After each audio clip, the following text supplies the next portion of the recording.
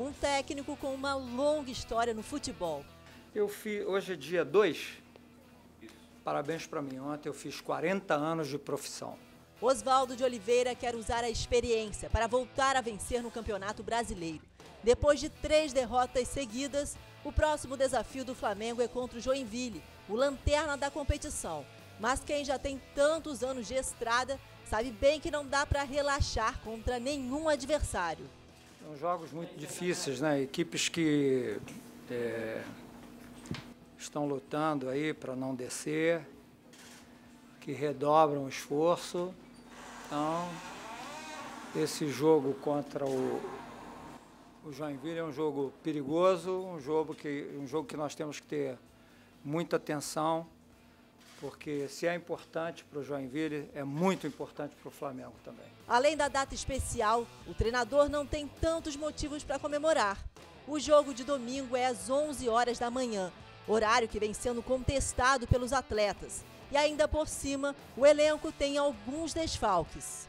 Eu ainda tinha uma esperança com relação ao Pará, porque ele não teve uma lesão muscular, ele teve duas torções né, de joelho e tornozelo, ele vinha evoluindo, mas hoje a gente não conseguiu colocá-lo no campo, então eu estou um pouquinho desanimado. Mas de qualquer maneira eu vou seguir até amanhã para ver o que vai acontecer. O Ederson levou uma pancada muito forte no jogo contra o Vasco, está muito dolorido e como ele não treinou durante a semana, não deve ser aproveitado para o jogo. O Wallace tem uma lesão sendo é, curada, tratada e ainda também não reassumiu o ritmo para conseguir voltar a equipe para esse jogo.